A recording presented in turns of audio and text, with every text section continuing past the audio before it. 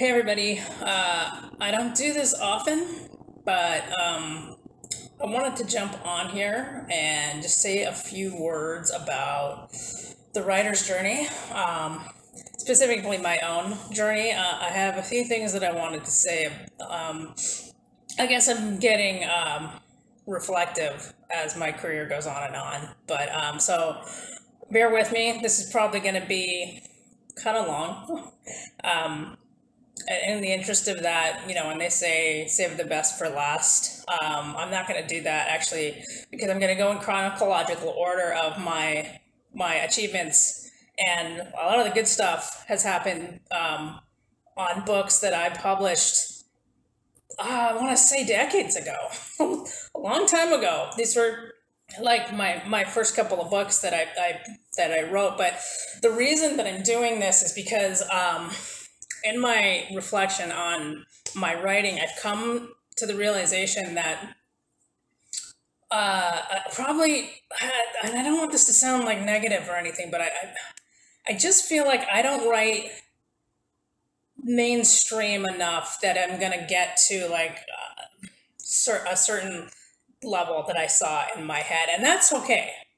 I'm saying right now that's fine. And the reason I'm doing this because is because there's other authors out there just starting out or whatever. Um, and what we do is we go online now because everything's digital and we look at our colleagues basically um, and we, we compare and we're like, I can't reach that. And, and, you know, myself included, I've been like, I can't do it. I don't know how many times I've said that in the past couple of days. I can't do it, which is bullshit because just ask yourself what is it you're trying to do?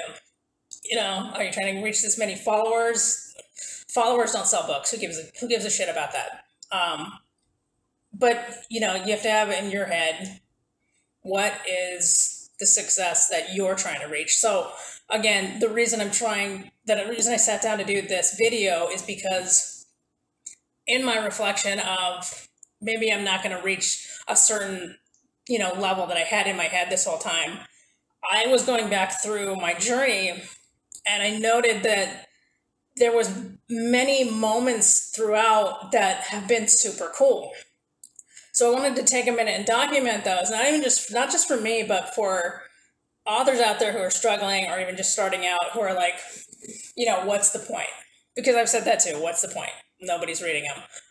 But bear with me, like I said, because this is my journey and yours might be totally different. But when you celebrate the small successes, um, it's really important. It really it really helps you. Um, so let me let me just dive right into it. So back uh, one of the first novels that I ever published. Um, I was trying to find my niche. Okay, so I liked a lot of fantasy and so forth.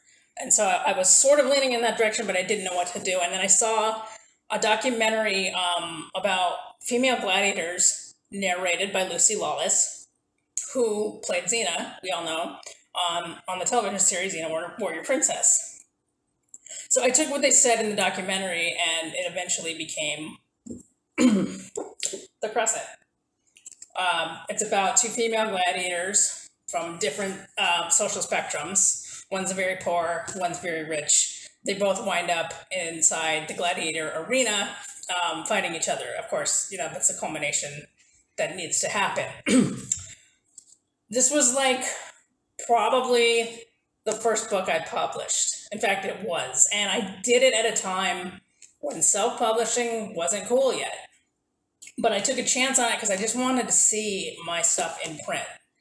Um, it's been through a lot of iterations. I've changed it a many, many times. I'm very happy with the way it looks now. I just changed the cover. I think it's clean. I think it tells the story of what it is. But the thing about this one and why, even though maybe it's not as well received as I would have hoped, there's one thing that happened with The Crescent that um, none of my other books to date have uh, have had this happen to. Um, it's been on the radar to be made into a feature film or TV series for a while now. But the thing about it is, um, the, my latest publisher or not publisher, producer, uh, what we're trying to do here for film rights, he keeps telling me it's a good story. I don't want to let it go. I mean, he keeps championing it to be this entity. So, um, you know, fingers crossed, prayers said that's going to happen. But I mean, even if it doesn't, like to have eyes on it in that manner, that like that that could translate to the screen because when I write, that's what I see. You know, it's like a, it's for me, it's like a movie in my head, and I'm I'm trying to get that across onto the page. So for other people to to see that too, um, I think that's very very cool. And honestly, it would, it would make a great series. I'm telling you, Amazon, what are you doing? You know, you got a bunch of remakes. Let's let's do something original. But um, that was the first thing, and this is the first book that I published. So again, you know, um, don't don't give up on your backlist. I guess is the lesson there. Okay, so the next um, book in my lineup uh, is sort of the reason why I wanted to sit down and do this, because the more that I think about it, the more it blows my mind. Um, and you're going to understand that when I start telling you this story. So, again, when I first started out, I didn't necessarily know what kind of path I wanted to take, what kind of writer I wanted to be. So I was just pulling ideas and putting them together. And at the time, uh, and I still am, but uh, you know, to the not to the degree that I was then. Uh, I used to uh, be a huge wrestling fan. Uh, this was like the culmination, the, the heights of the Attitude Era, and so forth. So I took my love of writing and my love of wrestling, and I put them together, and I created a thriller called Theater of Pain, which is basically, honestly, it's a love letter to pro wrestling. Um, even though I was never involved in the business, let me make that perfectly clear. I was just on the outside looking in. Back in those days, there was no dirt sheets, there was no social media, none of that. Uh, I I got snips of you know stuff from from interviews, and we used to get bootleg tapes. Those of you who knew who were in the '80s, you know what I'm talking about. But uh, so I wrote this. I wanted to put like this thriller, you know, kind of storyline in this, you know, world of professional wrestling because they're already over the top. They've got characters, you know.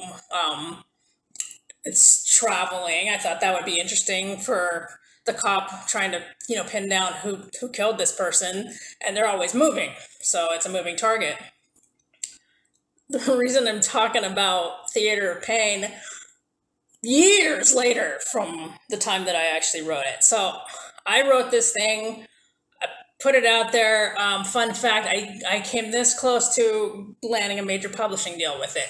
They kept asking for chapters and so forth. They liked it a lot. I was excited. Last minute they went with something else and i was like well shit you know shit happens. Move on.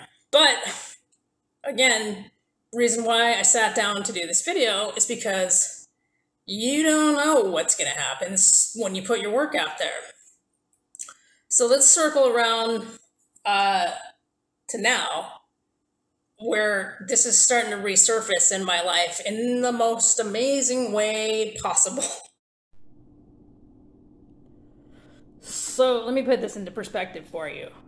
Um, say you're a fan of pro wrestling, um, or you know whatever, whatever you're a fan of right now, and say that there is an athlete that you watched back in the day that truly inspired you, um, and was your favorite, and so on and so forth. Uh, and then a chance meeting happens with this person and somehow you wind up having dialogue and now it's like more than just fan interaction um, i'm talking about if if you're a fan of wrestling which some of my followers are i know you are i'm talking about medusa slash alundra blaze i call her medusa that was my favorite name but my favorite growing up like the people the kids watching bianca belair and the charlotte flairs now that was me back in the day. And I'm gonna prove it right now. This, um, if you can see with the glare there, So yeah, so there. Um, I don't remember when this was taken. I do remember that it was Laughlin, Nevada. Uh, it was Alundra Blaze versus Bertha Faye. And I remember this succinctly because uh, I didn't know she was going to be there. And that's the first and only time I ever saw her live, um, Alundra Blaze. So her music hits, and I started to freak out. I was like, oh my God, Alundra Blaze is here.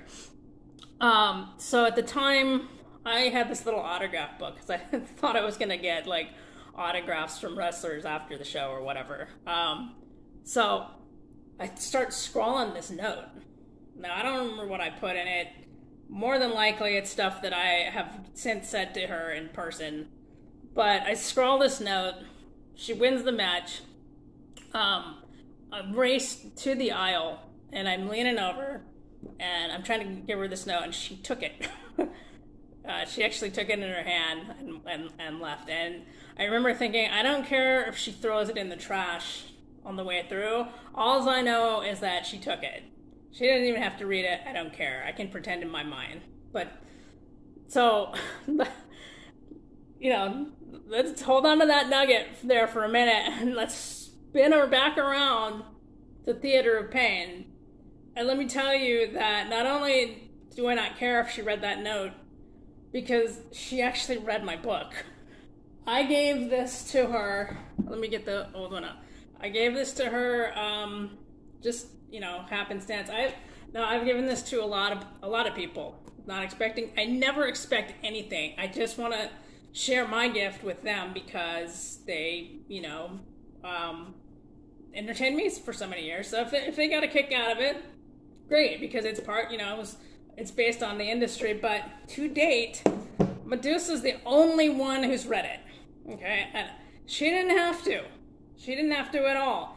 But not only did she read it, I asked her for if she would leave me a review on it because this, I mean, it was huge for me to hear that she actually read it and liked it and related to it.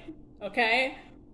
You know, spin back all the way to this this right here. Fast forward to she read my work. She liked my work. Now I asked her for a review, not thinking she would do it. And I'm going to tell you why. Because, like I said, I gave the book to a lot of people. And not even just that book, a lot of other books I've given out. I've given I've given out Theater of Pain a lot um, to people in the industry. And I, I kid you not, there was a women's tag team who looked at this like they didn't know what a book was. Um, but again, I never expect anything, you know? If you want to, again, it goes back to the, the note thing. If you're I, I mean, I hope they don't throw the books in the trash, but I don't expect anything from it. And when I asked Medusa if she would do a review for it, I didn't think she would even say yes. Not only did she say yes, she wrote it immediately. So now I've re- repackaged this. I think it looks super clean. I've gotten I've gotten a lot better at doing my cover work, I think. But now and I hope I I think she'll be okay with this because you know she gave me the okay to do the the uh, the quote, but now it's on the front of the freaking book. Okay, that's huge for me because that she signed it. This is how she sent it to me. Yeah, I correspond with Medusa now, which is freaking nuts. She put WWE Hall of Famer. Now that's on my book about wrestling. I don't think she even knows how massive that is because it, that is huge for me to have that on my book, in my book. Uh, for her to tell me it's an honor. Whoa! okay, that blows me away. That's huge. What's even bigger than that? And this is why I, I want to tell you keep writing. You never know what, what doors it's going to open. The reason this stuff is opening is because, not even because of these. Uh, when I did Vegas Vigilantes, I dedicated one of those books in the series, uh, the Vegas Valkyries one, second one. I dedicated it to Medusa. Okay. Brought this to one of her signings, handed it to her. uh, showed her the inscription there, and that started a whole thing with us. Um, again, I didn't expect anything from that. I would. I don't want to say it's not. It's a not a big deal for me to dedicate my books to people, but I do. I do a lot of put a lot of thought into it. You're not getting into that book unless you mean something to me. Uh, I've since stopped doing it because I've run out of people. To be perfectly honest with you, I started dedicating it to myself. Um, but Medusa was one of those people that I absolutely that's dedicated to her. That's about Valkyries. She's a she's a freaking Valkyrie on Earth. But that brings me to my next point. So now, now not only does Theater of Pain have her rousing endorsement on it, which again, thank you so much for that. But this is Medusa's book. Okay? It's a, her autobiography, the first one she's put out, The Woman Who Would Be King, um, available now. Uh, great read. I recommend it to anybody. Not, I mean, even if you're not a wrestling fan, it's an inspiring story. She's a, a class act, this woman. And this is why I'm telling you this story also, because because uh, I have to. And I know she doesn't like accolades. I re- I, she really doesn't. She always shuts me up.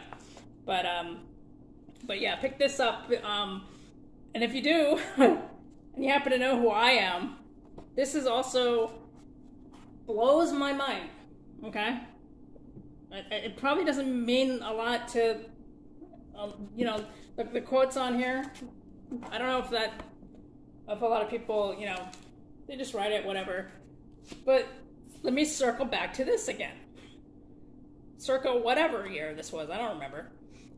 But uh, she asked me to review her book, and and my my review's in her book, right there. That's me. That's me right there. Uh, review. so and you know even even bigger than me actually being in this, um, she, sent me this herself, uh, and it's personalized inside. Uh, I'm not going to show it to you because it's personal, but um, to get something like that from one of your heroes is actually it's extra special. And um, yeah I, I i'm just so blown away by the whole experience. And the writing life is even crazier. So you don't know like where these doors are going to open or what what's going to what's going to come from doing what you're doing uh, maybe you're frustrated because nothing seems to be happening but like I said, the Theater of Pain and The Crescent, one and two.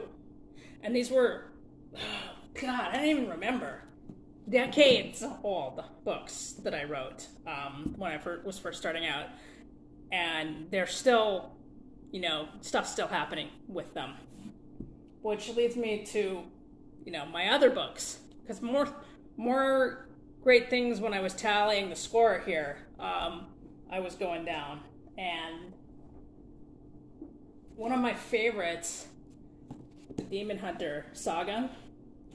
This is one of my favorites because it's very dark and bloody. And I used to bring this uh, when it was when it first came out. I used to bring this to conventions a lot. And um, talking about reviews, the reviews I got on this, not only did it get nominated for Best Series, that was my first nomination ever. Not only that, but if you can see on the back here, um, yeah, I, I was compared to the Priest of the Blood series from Doug Clegg, the Odyssey and Gulliver's Travels, and then one of my favorite ones, which literally when I got this uh, review, if I, let me find it quickly, uh, I when I heard this, um, I, I could freaking die happy when I heard this. So uh, he um, he says uh, Vespia's Demon Hunter, the Chosen One, turned out to be more like a classic retelling of Conan, with a bit of Doug Clegg's Priest of the Blood series thrown in. Conan. Robert E. Howard's Conan. There's a huge painting of it back there. Um, to be compared to Conan, I'm done. You know, that I'm done. What else do I have to do? But obviously, I'm not done because I'm still writing. But yeah, so this Hunter series, yeah, so Conan, Odyssey, Gulliver's Travels, another one. Um, your writing reminded me of Stephen King's uh, last book. Stephen King.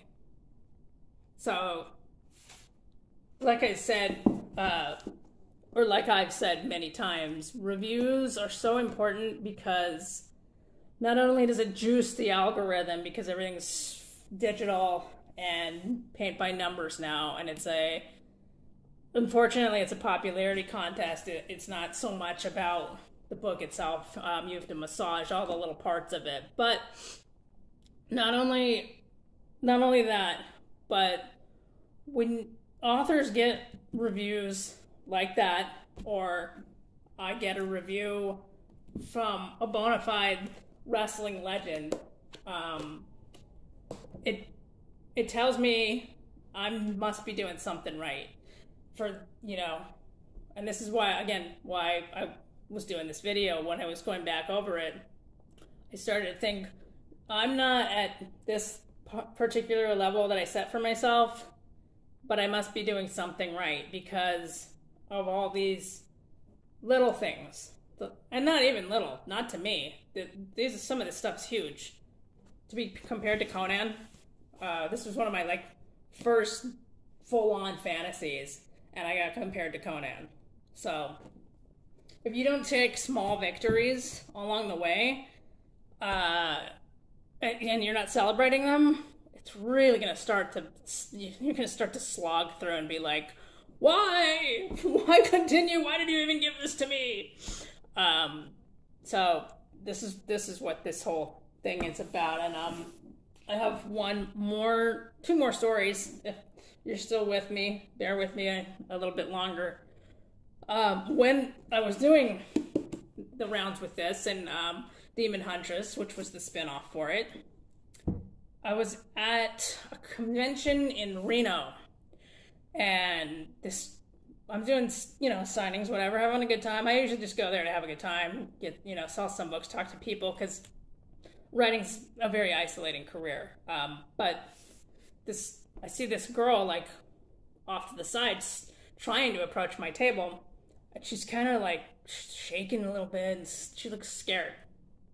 So what turns out to be her boyfriend comes up to me and he goes, You're her favorite author.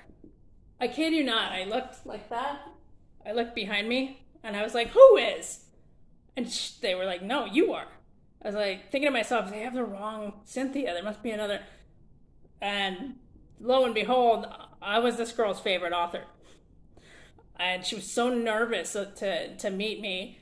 It takes me back, you know, to meeting pro wrestlers or whoever actors at the time. And I always thought to myself, if I was in that kind of position ever, I know how the people who treated me a certain way, how they made me feel, good and bad. So I was never to do be one of those people on the bad side. So I made sure to get up from my table, come out, take pictures, talk to her, uh, it was not just a thrilling moment for her, but it's something that I've remembered this whole time. I have lost track of her since. I don't. I hope she's still reading, even if it's not my my work. But um, I, that was a moment in time that was just incredible. Um, and speaking of conventions, uh, this brings me to my last story and why I like to go out and do signings. Like I said, because um, I'll compare it to when an actor does a film or they do a play. Okay, so publishing a book um, and you sell it online and so forth, it's sort of like putting out a movie. You got to wait for the reviews and wait for the feedback.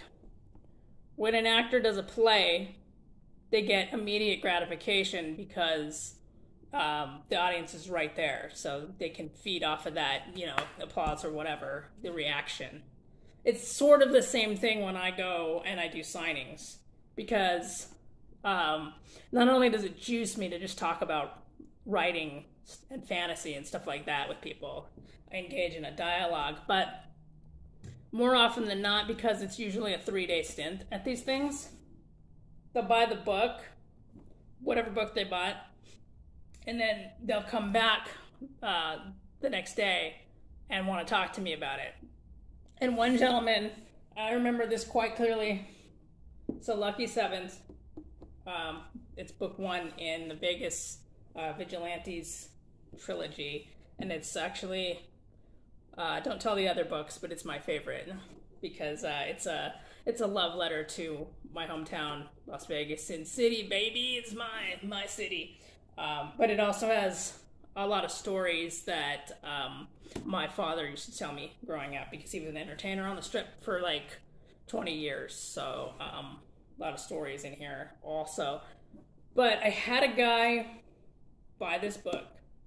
He came back the next day and I honestly think he was like searching for me to, to tell me this. And he goes, I started this book and I absolutely love it. And he quoted a line back to me from it.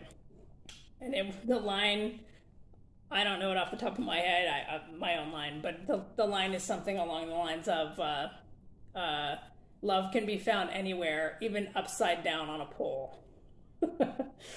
Uh, what that means is the love interest in this is a stripper. Yeah, you got it. It's Vegas, baby. So, um, that and also, you know, I've had I've had readers tell me back what they saw in their head when they were reading, and it matches word for word what I was thinking when I put it on the paper, which tells me I'm doing my job as a writer, and I'm like, fucking cool, man.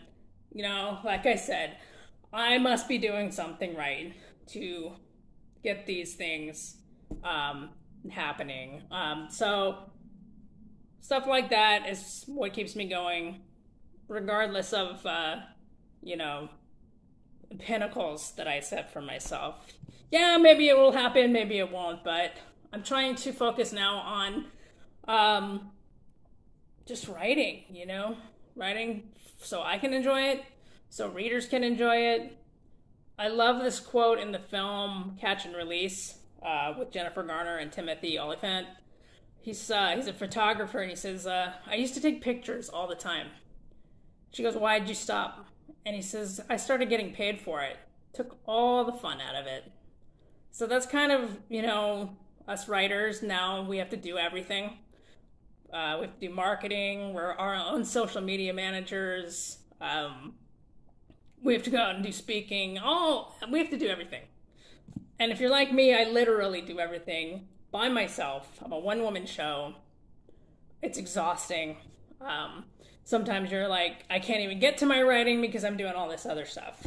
Uh, boundaries, you know, make time to do the writing because you want to do the writing and make sure you enjoy it, you know. It's supposed to be fun. If you're just chasing the dollar, go sell cars or houses or something. There's an easier way.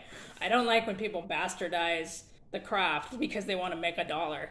If you don't love writing, go do something else. Um, because eventually that that's gonna fade. You can't just keep churning out nonsense books and like keep keep a reader base. You just can't do it. Which leads me to my final thought.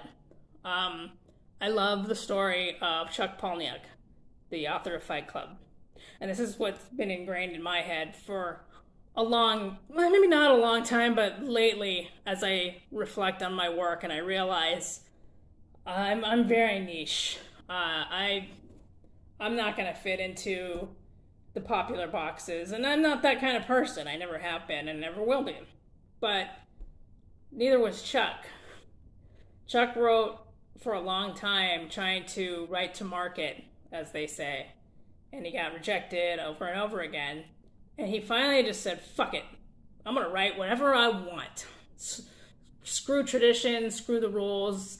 And Fight Club was born from that. And now it's everywhere. Everyone knows the first rule of Fight Club you don't talk about it, right? I'm talking about it because it's sort of my guidepost right now on what I'm trying to write and why. And also, you know, as we went down this history of mine, Uh, those reasons also.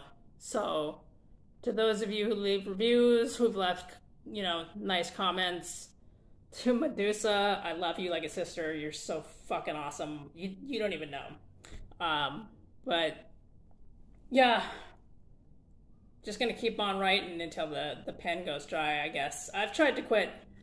I really have. I I, I thought I was done, and the powers that be tell me I'm not. So I'll just keep writing until I can do it no longer. And I hope, I really hope you keep coming on this journey with me. So thank you so much.